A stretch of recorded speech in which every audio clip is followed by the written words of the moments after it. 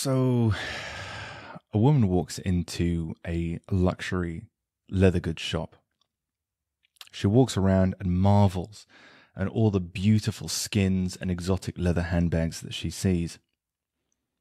And while she's walking around the store, she looks into the corner of the store and sees the most beautiful leather handbag that she's ever seen.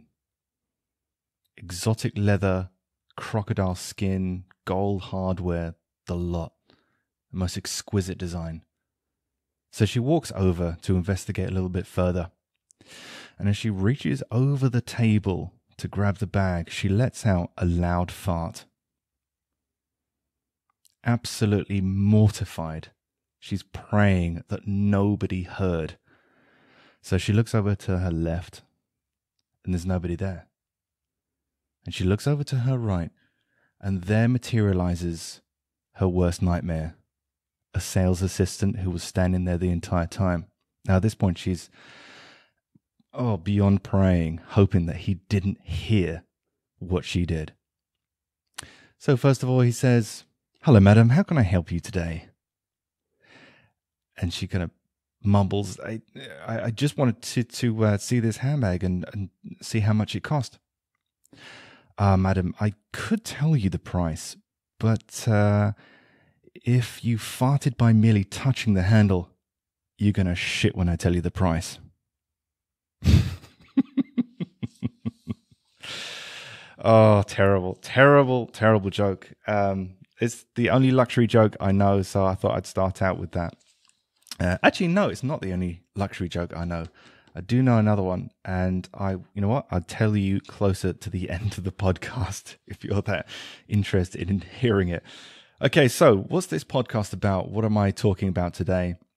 What am I going to be taking you through? So, as some of you know on my Instagram and indeed on my YouTube channel, if you've been watching my stories, and my shorts and things like that, you may occasionally see me going up to London, which is only about half an hour, uh, no, about an hour away from me here in Kent. And uh, I love going, doing a little bit of shopping in London, but also visiting some of the luxury stores and the high end stores like Harrods and Selfridges, and you know, walking down New Bond Street and seeing some of the beautiful boutiques that they have there.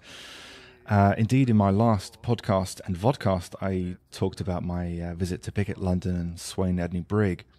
But something that I get, and, and I'm not there that often, maybe you know a handful of times a year, but something I get, I get a lot of people saying, you know, it was great to follow you along, it's great to see all that stuff, and you know all the luxury brands and all their glory, but there is not a small minority of people that love to, how can I put this politely, mock the idea of luxury brands, uh, expensive, exquisite items, and they always talk about how it's not worth the price. Uh, people that can buy those have got more money than sense. Uh, wealthy people can't buy taste and all that kind of thing. And I guess this is I guess you could call it kind of a pushback podcast in a sense on on that mentality. To some extent, yeah, there are brands out there that charge ridiculous prices for what you're getting, especially ones that increase their prices a huge amount every year. Chanel comes to mind. If you look at some of their most famous bags now compared to just a few years ago, the prices pretty much doubled. But you're getting the same thing, you know. It's um, they're playing a game, and it's it's ridiculous. But that is an exception to the rule. I think there are a lot of great luxury brands that are producing exquisite items for a very high price. And I think sometimes, and we can all be guilty of this, we can't appreciate what we don't fully understand. And this podcast is all about why that is, but also how we can understand luxury a little bit better because some of us um, produce luxury leather goods or fine leather goods uh, for as a brand, as a full time job, as a part time work to complement your day job. Uh, and some people have aspirations to produce luxury leather goods in order to to sell. So I think it's very good for us all to learn how to appreciate luxury and not just in the sense of leather goods, but as a concept. So I want to uh, I want to start out with a question. And I guess it could be seen as a controversial question, but I'm going to ask it anyway. But if you don't like the answer, do remember that it's you that's providing the answer. And if you don't like it, you created it. So this is not really a statement, it's just a question, and that's all it is. But this is the question If you don't appreciate luxury, do you have any business creating it? If you can't enjoy the finer things in life, why are you making the finer things in life and asking others to enjoy it? Interesting question. And this is mostly as as individual artisans because, of course you might get craftsmen at, let's just say Hermes creating ridiculously expensive handbags and they may not enjoy the finer things in life. Okay, probably do, but many of them may not. Who knows? This is individual artisans because the craftsmen there at Hermes, they didn't design their famous handbags. They didn't design any of their, their famous luxury leather goods. Unlikely. But they learn how to create them. So they're separate from kind of what we do, which is creating it ourselves and many much of the time designing it ourselves as well okay we choosing the leathers we're choosing the colors oftentimes in choo- you know choosing the design and the shape of the uh, the finished article so we are at every stage of the production so i think it's more important for us as individual crafts people to understand luxury why people like luxury and the more of an appreciation you have, the better you will be at creating it. So, my goal here is to just change your perspective a little bit in helping you to understand that. So, along the lines of can you truly appreciate what you don't yet understand? I'm not asking you to go out and take out a loan and go on a luxury goods spending spree and just buying it because oftentimes when I'm going to London, um, I'm not up there buying highly expensive luxury leather goods. I might be doing a little Christmas shopping. I might go up there for the day or stay over in a hotel. Uh, and sometimes I come back and I haven't really bought much at all. Even though I've been to some of the more famous watch boutiques or along Savile Row to view the suits, um, you know, visiting John Lobb and a few other different places that I just really love visiting. It's, it's it's inspiring, even if it has nothing to do with the craft that I'm involved in. Um, I find it really inspiring and really kind of gives me ideas and and motivates me. I guess is is another way of putting it. It really gives me motivation uh, and brings back that excitement for for the fine details in in luxury and craftsmanship. So, giving a little pushback on on the first thing I, I talked about really was was people saying that oh you, you know you're only paying for the name you're only paying for the label. Yes and no. And when i say no uh, when we say a name louis vuitton is just a mouth noise okay? We move our vocal cords in a way and then we move our lips in another way and it creates the sound associated with louis vuitton but the question really is is what conjures up in your mind? What comes to mind when someone says that to you? And you might think of their famous monogram. You might think of trunks. You might think of some of their handbags. You might think of some of their silk scarves and other luxury items that the brand is famous for. So it's not you're not really paying for a name as such. What you're paying for is a reputation. What you're paying for is a legacy because the reputation associated with that name, connected to that name, has sometimes in some of these brands taken multiple generations just to gain that reputation, that incredible asset that now goes along with the name. The name is just the code, the link to that heritage, to that luxury. And every time someone says that name, every time we say that name, we invoke that reputation when we say Gucci, Delvaux, Goyard, Hermes, Louis Vuitton, and various other different brands. With each of those, we have a different, a different concept or a different uh, vision that comes to mind when people say that that name. That is what you're really paying for. So you're not paying for a name, you're paying for a reputation. And that's very important to understand. And absolutely, people use these as indicators of wealth all the time. You walk around, you know, the posh areas of any big metropolitan city and you're seeing these people with, you know, head to toe all these high end brands because it indicates to other people their social status, their value, their wealth, their power, even. You know, if you go back thousands of years, I don't know, to prehistoric human times, if you came across somebody who's wearing several wolf skins as a coat to stay warm, well, what does that tell you? What does that indicate to you about that individual? Well, obviously, he's such a good hunter. He can take the, one of the most feared predators and kill them, not just once, but multiple times. And his status within his social group, within his tribe, is probably going to be very high. So we've been doing this for the dawn of man, from the beginning of time. This isn't something new. This isn't a modern concept.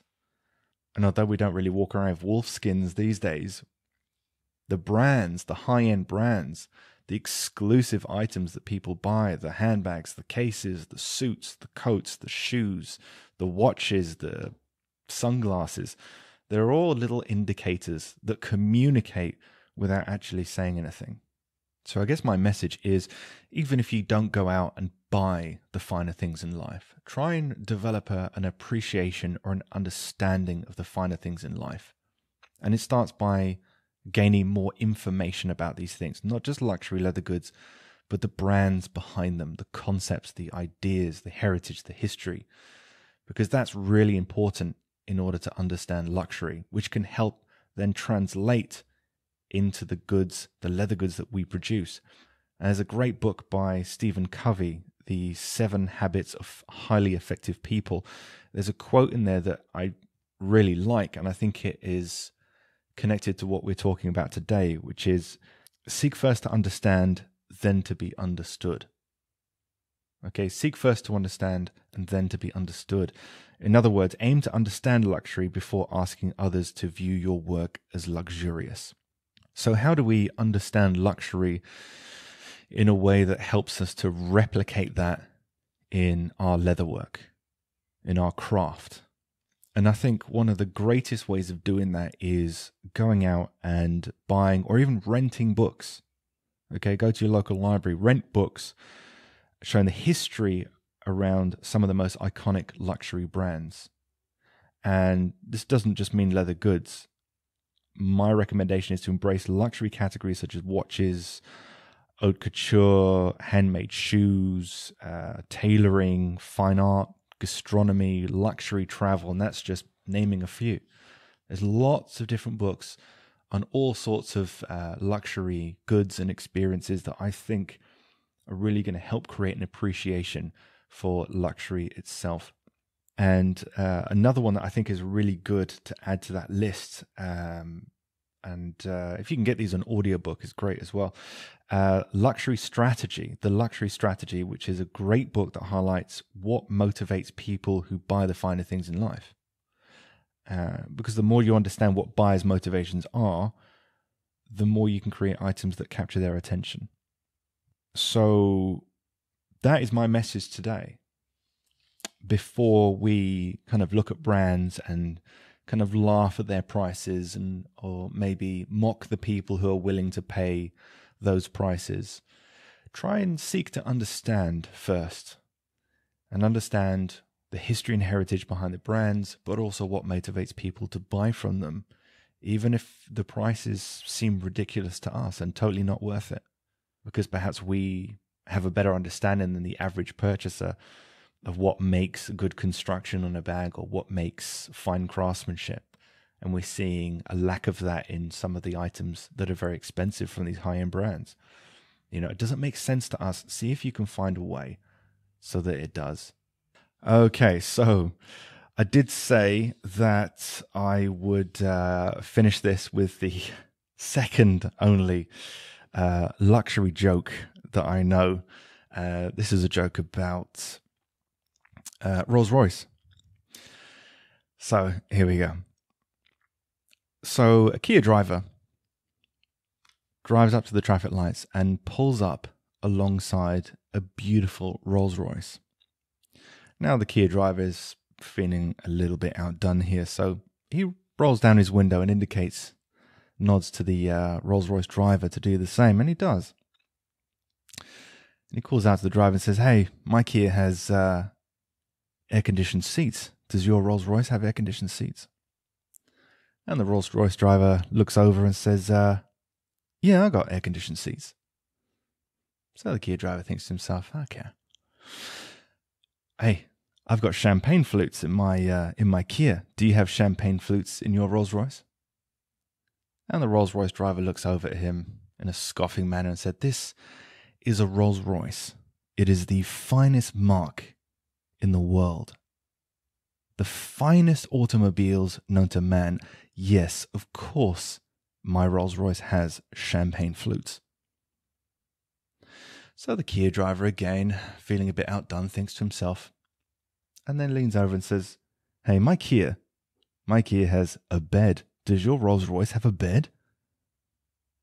And the Rolls Royce driver, feeling a bit annoyed, simply accelerates away from the lights.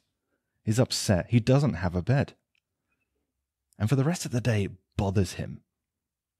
So he makes an appointment at Rolls Royce, goes there, speaks to them, and asks them to put a bed in, drives it round the back, and leaves it with them. And they construct the finest bed ever made for any Rolls Royce with the most beautiful silks, exotic woods, and brass trimmings, the lot. And they install it into his Rolls Royce. And he picks it up. And as he's driving around, he really wants to rub it in the face of this Kia driver. So he drives around and spends the entire day looking around the city for this Kia driver. And at the end of the day, just before he's about to give up, as night's falling, he drives past a car park and sees the Kia parked up in the car park. So he pulls in and he pulls right up next to the Kia driver. He gets out his Rolls Royce, goes over and knocks on the window. Nothing. He notices all the window is completely steamed up. So he knocks again, but louder. And then, all of a sudden, the window comes down and the Kia driver pops out completely soaking wet. The Rolls Royce driver says, Look, check in the back. I've got a bed. And the Kia driver says, You got me out the shower for that? oh, guys, guys, guys. Ladies and gentlemen, it's been absolutely wonderful for you to have me. Uh, don't forget to like this video and subscribe if I made you laugh. And I will see you in the next video. Thanks for listening. Take it easy.